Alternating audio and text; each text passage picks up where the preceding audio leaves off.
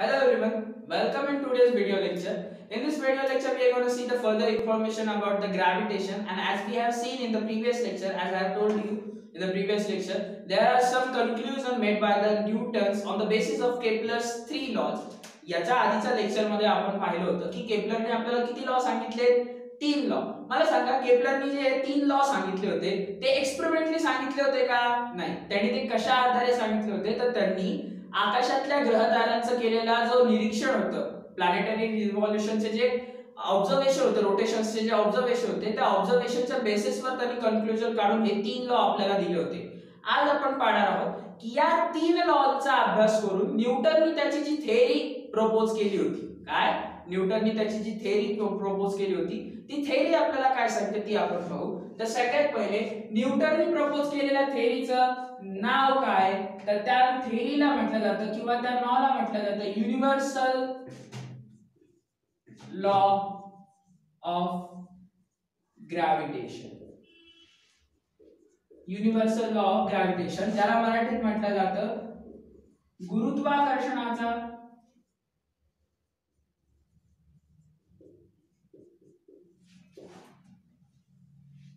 गुरुत्वाकर्षणाचा वैश्विक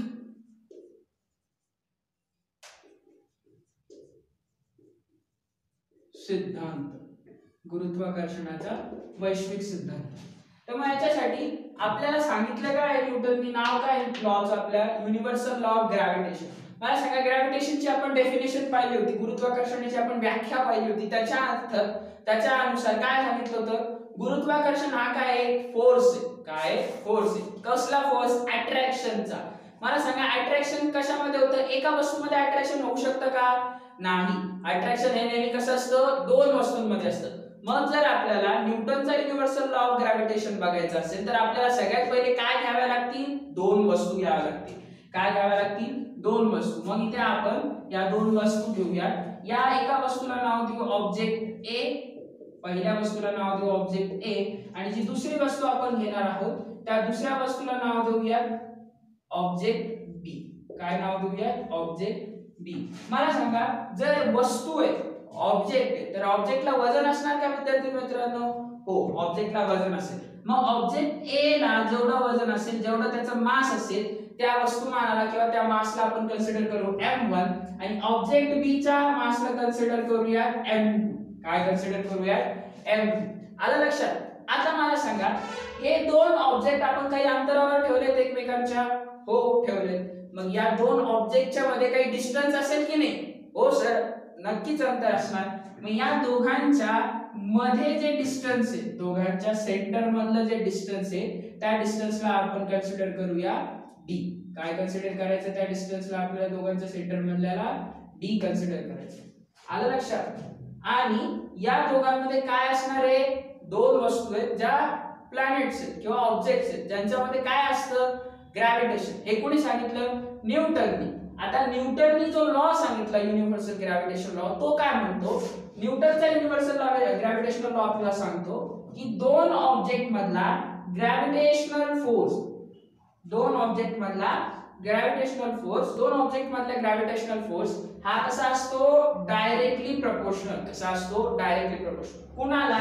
त्या दोन ऑब्जेक्टच्या मासेसच्या मल्टिप्लिकेशनला प्रोडक्ट ऑफ देअर मासेस आणि तो इन्व्हर्सली प्रपोर्शनल असतो त्या दोघांमधल्या डिस्टन्सला कशाला इन्व्हर्सली प्रपोर्शनल असतो? त्या दोघांमधल्या डिस्टन्सला आणि या इक्वेशनला म्हटलं जातं युनिव्हर्सल लॉ ऑफ ग्रॅव्हिटेशन काय म्हटलं जातं? युनिव्हर्सल लॉ ऑफ ग्रॅव्हिटेशन गुरुत्वाकर्षणाचा वैश्विक सिद्धांत आपण ज्याला म्हटला होता तो सिद्धांत काय सांगतो? Force gravitational force between two object is directly proportional to the product of their masses and inversely proportional to their square of distance between them हा झाला आपला युनिव्हर्सलचा सॉरी न्यूटनचा युनिव्हर्सल लॉ ऑफ ग्रॅव्हिटेशन मग आपण पाहिलंय की जेव्हा जेव्हा आपल्याला हा प्रोपोर्शनॅलिटी साईन उडवून त्याच्या जागी काय टाकायचं असतं विद्यार्थी मित्रांनो इज इक्वल टू साईन टाकायचं असतं तेव्हा तेव्हा आपण तिथे काय करतो एक प्रोपोर्शनॅलिटी कॉन्स्टंट घेतो. मग जर मला या याच्या जागी काय टाकायचं इज इक्वल टू साईन तर इथे आपण जे प्रोपोर्शनॅलिटी कॉन्स्टंट घेतो ते डिनोट केलं जातं जी ने आणि त्या जी ला म्हटलं जातं आणि त्या जीला म्हटलं जातं युनिव्हर्सल ग्रॅव्हिटेशनल कॉन्स्टंट त्या जीला म्हटलं जातं हा जी काय या फॉर्म्युला मध्ये? याला म्हटलं जातं युनिव्हर्सल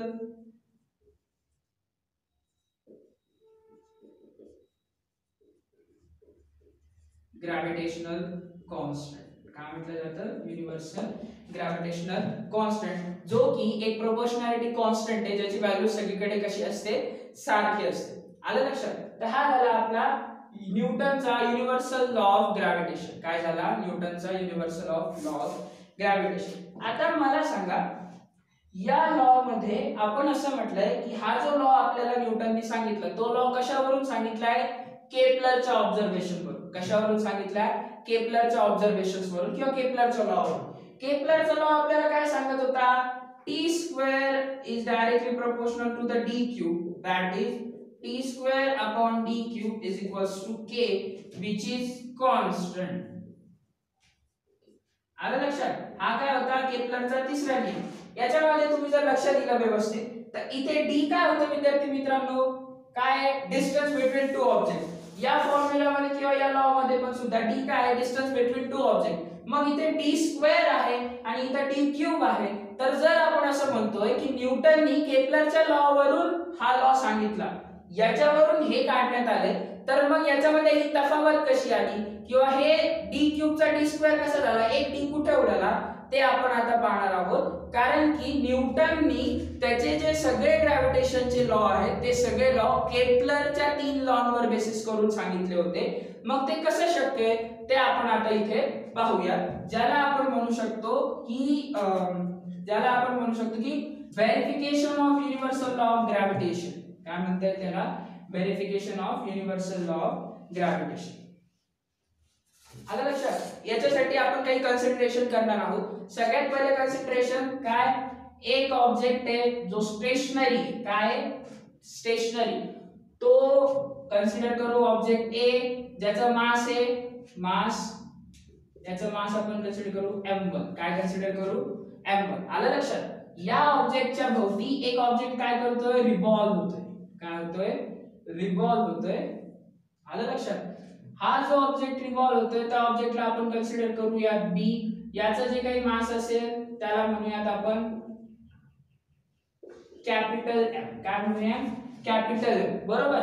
या ऑब्जेक्ट बी ची जी काही व्हेलॉसिटी असेल काय? व्हेलॉसिटी ती कन्सिडर करूया बी या ए ए आणि बी या दोघांमधलं जे काही अंतर असेल त्याला कन्सिडर करूयात आर काय कन्सिडर करूयात? आर किंवा डिस्टन्स आहे म्हणून आपण त्याला कन्सिडर करूयात. डी काय कन्सिडर केलं? डी आलं लक्षात? मला सांगा मी जर असं म्हणतोय की हा बी ऑब्जेक्ट ए च्या भोवती सतत एका युनिफॉर्म स्पीडमध्ये म्हणजे एक समान गतीमध्ये काय होतं सर्क्युलर मोशनमध्ये फिरतोय.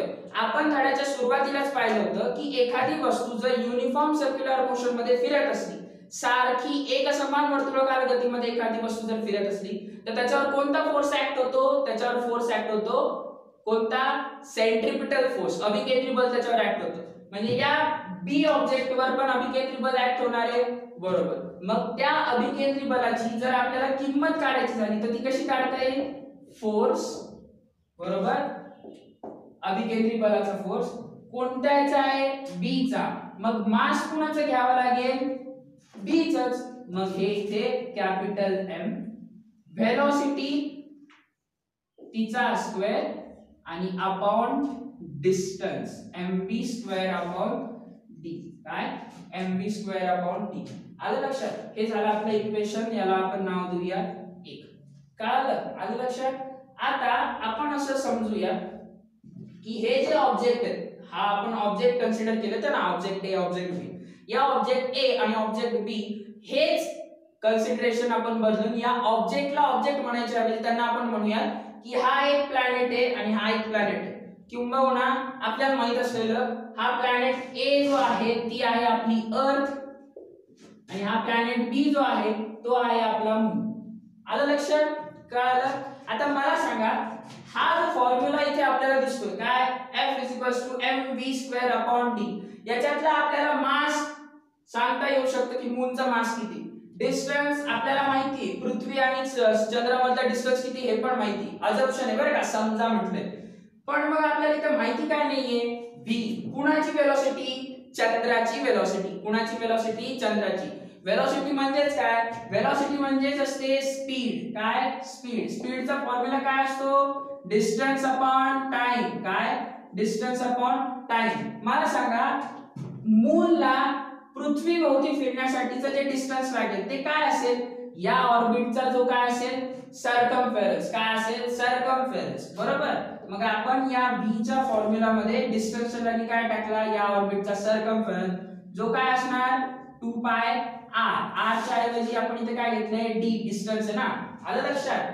आणि टाइम पिरियड विचारलाय. काय विचारलाय टाइम पिरियड मूनला पृथ्वी भोवती फिरण्यासाठी एक चक्कर मारण्यासाठी किती वेळ लागतो? तर त्याला आपण कन्सिडर करूया कॅपिटल टी काय कन्सिडर केला त्याला आपण? कॅपिटल टी आलं लक्षात? याला नाव देऊयात आपण इक्वेशन नंबर टू काय नाव दिलं याला आपण? इक्वेशन नंबर टू आता लक्षात घ्या. हे इक्वेशन नंबर टू आपण टाकूयात इक्वेशन नंबर वनमध्ये. Put equation two in equation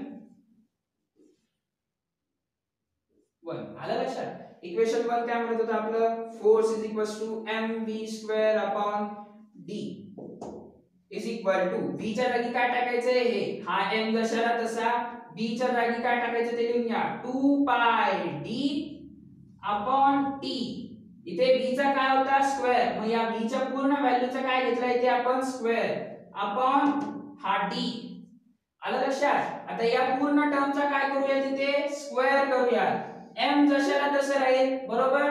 दोन चा स्क्वेअर चार पाय चा स्क्वेअर पाय स्क्वेअर डी चा स्क्वेअर डी स्क्वेअर टी चा स्क्वेअर टी स्क्वेअर आणि हे खाली डी जशाला तसं. याच इक्वेशनला थोडस व्यवस्थित लिहून घेऊयात आपण. व्यवस्थित म्हणजे काय? Four M pi square D square upon D T square आलं लक्षात? कळालं? आता इथे आपल्याला एक स्टेप करायची. ती म्हणजे इथे आपण करूया हे जे इक्वेशन इथं आपलं आहे four M pi square pi square D square upon D T square इथे आपण करूया multiply by multiply and divide multiply and divide by D multiplied by आणि डिवाइड बाय करायचं? डी करायचं. आलं लक्षात? आता इथे पूर्ण याला काय करायचंय? डी नी डिवाइड करायचं केलं सर एकदा बघा हे खालचं दिसतं. तूच नाही दिसत. मी जाऊ दे. हे लिहिलेलं दिसतंय का? दिसतंय. इथून हे हो. इथं लिहिलं दिसत का सगळं? दिसत. हा ना? हो. लिहू का मग? हो. तर काय करायचं आपल्याला? त्याला मल्टिप्लाइड आणि डिवाइड बाय डी करायचं. बघूया. Force therefore force is equals to काय? 4 m pi square d square upon d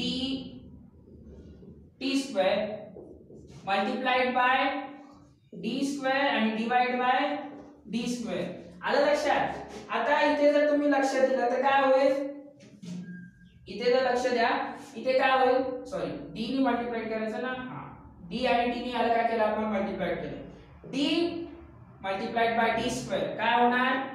D Q four M pi square हे जशाला तसं D multiplied by D square is equals to D Q upon इथे t square D square काय? T square D square आलं लक्षात? कळालं का? आता इथे जर तुम्ही व्यवस्थित लक्ष दिलं या इक्वेशनला जर आपण थोडस व्यवस्थित लिहिलं अजून तर ते कसं लिहिता येते बघा? Four M pi square D cube upon D square T square. केपलरचा law काय सांगत होता तिसरा आपल्याला? T square upon D cube is equals to काय? के काय? T square upon D cube is equals to काय? के याला जर इन्व्हर्स केलं इन्व्हर्स म्हणजे काय? उलट केलं तर काय होईल? D cube upon T square is equals to one by K काय होईल? वन बाय के इथे बघा D cube upon T square आहे. इथे पण जर तुम्ही लक्ष दिलं तर काय आहे? D cube upon T square D cube upon T square म्हणजे या डी क्यूब अपॉन टी स्क्वेअरच्या जागी तुम्ही काय टाकू शकता? वन बाय के टाकू शकता. म्हणजे हाच आपला जो फॉर्म्युला आहे four M pi square upon D square multiplied by one by K इतकं कळालं? आता त्यांनी इन्व्हर्स का घेतलं हे आपण याला पाहायचं होतं. ते पाहूया हा फॉर्म्युला इथे वर लिहितो. काय आहे? F four M pi square upon D square multiplied by one by K आता इथे लक्षात घ्या विद्यार्थी मित्रांनो. हा के काय आहे? कॉन्स्टंट के काय इथे? कॉन्स्टंट मला सांगा कॉन्स्टंटनी कशालाही गुणलं किंवा कशालाही भागलं तर उत्तर काय येतं? कॉन्स्टंट म्हणजे इथे एफ इज इक्वल्स टू काय आला? के जो की काय?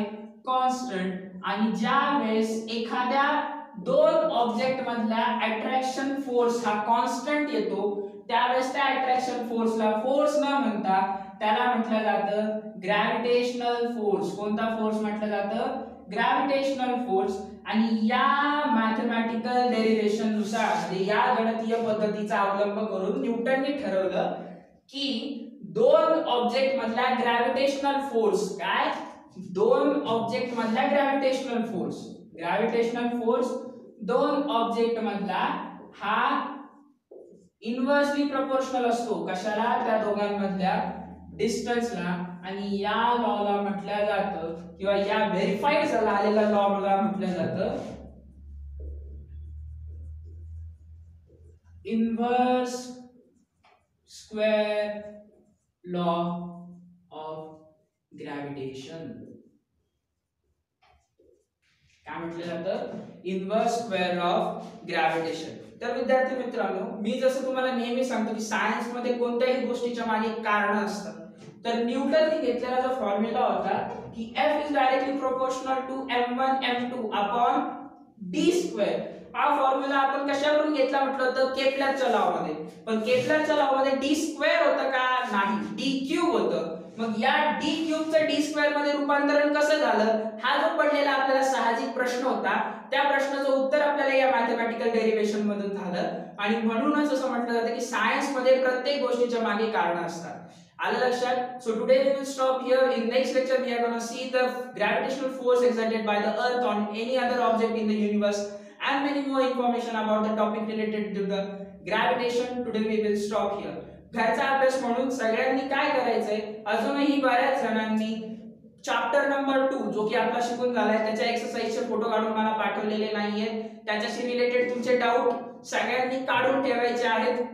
प्रत्येकाने येणाऱ्या डिस्कशन सेशनसाठी तुम्हाला असलेले डाऊट तुम्हाला शिक आतापर्यंत जे काही शिकवण्यात गेलेले त्याच्याविषयी असलेले सगळे डाऊट हे एका पेजवर काढून ते रेडी करून ठेवायचे आहेत. ते डाऊट तुम्ही मला व्हॉट्सअपवर पर्सनली किंवा आपल्या ग्रुपवर टाकून मला शेअर करू शकतात आपण ते डाऊट सॉल्व्ह करण्याचा प्रयत्न करूया today we will stop here in next lecture we will see the further information thank you